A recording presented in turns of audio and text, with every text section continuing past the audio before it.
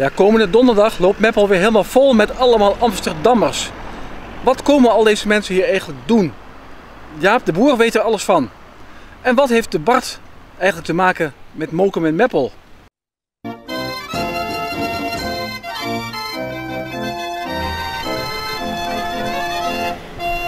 Jaap de Boer, ras-echte Meppeler. Wij staan hier in Amsterdam, maar wat doen wij hier eigenlijk?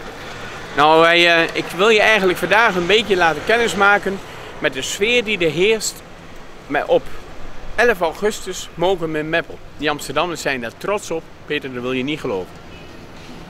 Het is eh, voor hun het uitje van het jaar. Eh, daar herleven we één dag even het ouderwetse Amsterdam. Met alle Hollandse artiesten en gezellige mensen. En één doel, het is een feestje. Het geheim van Meppel is dat het verschrikkelijk gezellig is. Op elk stuk waar we komen. Elk straatje waar je ingaat zijn het verschrikkelijk aardige mensen. Met- hem is het begonnen en hij brengt al die artiesten ook wel warm.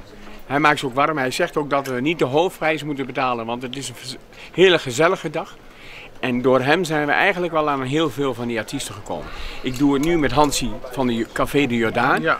Maar met Co was het eh, in het begin was het de, de push die we eigenlijk nodig hadden om hier binnen te komen bij die artiesten. Ja, Meppel heeft echt een magie, Wat de artiesten daar doen en het is voor de artiesten een soort reunie daar. Ja, iedereen heeft dat gewoon eigenlijk al, als het afgelopen is al. Ik krijg gewoon een telefoon en dan zeggen ze, sta ik erbij? Nou, zo werkt het eigenlijk.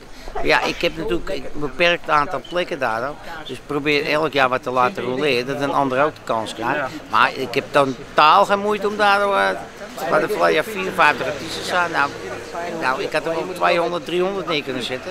Zoveel aanvragen is er gewoon. Dirk, jij treedt al eh, zo'n 20 jaar op eh, bij Meppel. Eh, ja, 19, 20 jaar, ja zeker wel. Vanaf het begin.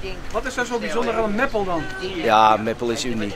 Meppel is, eh, is eh, uniek. Is, het is ongelooflijk hoeveel mensen daarop afkomen. Het is, eh, mensen zijn vrij, mensen zijn vrolijk en gezellig. Het is gigantisch. Mensen gaan hier met bussen vandaan.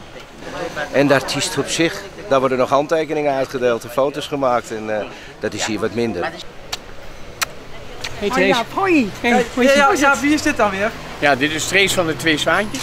En eigenlijk een beetje de moeder van de Wolstraat, wil ik eigenlijk wel een beetje zeggen. Zij, eh, zij is de, gewoon de grote initiator en animator van Ja. het uh, travestietengebeuren. Ja, Maar, maar jij haalt dus de travestieten naar Meppel toe, zeg maar.